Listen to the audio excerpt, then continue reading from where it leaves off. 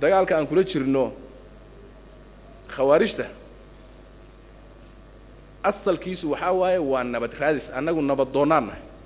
Dagaalkaas nabad baan ku raadinaynaa haddii aan ku helayno nabad oo dadkanaga dilka laga daynayo oo ay dadkaasi ay dariiqa saxdaa ku soo toosayaan nabad waxaan diyaar u nahay nabad. Hadaf marna nooma aha. Qof la dilo hadaf nooma aha in qof la dilo hadaf nooma aha hadafkayagu waxaa waaye in nabad la helo waaye.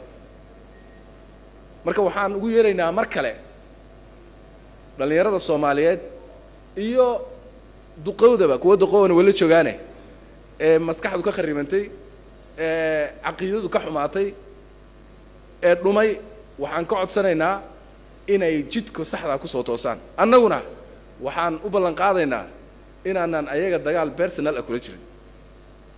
Hadday ka soo laabtaan waxaas waa walaalahayo. Sidaa aan haddeertaan aan dee examples fara badan aan ka sheeg sheegi karo oo kuwii awal horeba waxaas ku jiray hadda.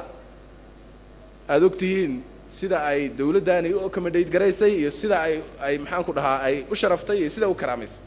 Qofka soomaaliga haddii uu ka baxo waxaan la dagaalamaynaa waa afkaarta xun waxaan la dagaalamaynaa waa dilaannimada waxaan la dagaalamaynaa waa dugaagnimada laakiin qofku hadduu waxaas ka yimaado oo uu qof caadiga noqdo oo uu sidii qof caadiga oo soomaaliyeed oo intan oo kalea uu soo noqdo oo uu dadkiisa iyo dalkiisa nabad inuu ku noolaado uu rabo waa soo dhawaynaynaa aad baa u soo dhawaynaynaa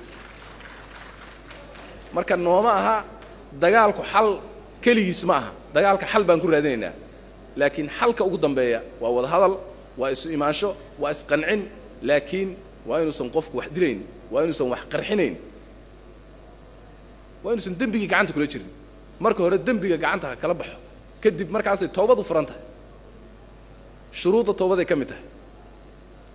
Qofku marka hore an yakhlaca dembi mar marka ugu horraysa horta dembiga in laga baxo. Shuruuddaa ka mid a tawbada